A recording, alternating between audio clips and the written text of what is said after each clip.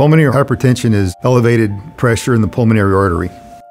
And what happens is if that's not treated, your heart has to work harder against that pressure and it can lead to, to heart failure and death.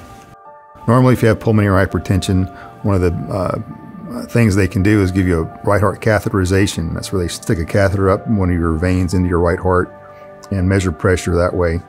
MRI is totally non-invasive, and uh, we can do it non-invasively to, uh, to, get a measure of stiffness.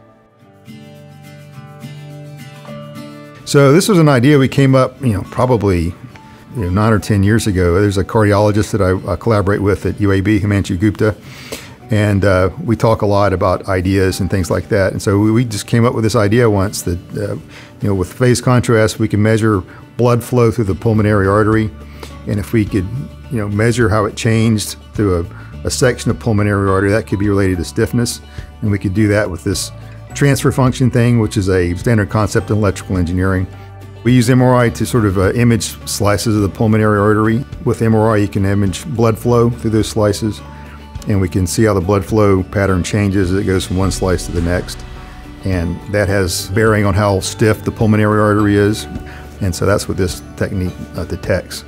Hopefully, uh, they'll use MRI to uh, do this non-invasive procedure in at least some of these patients and reduce the number of right heart catheterizations uh, moving forward.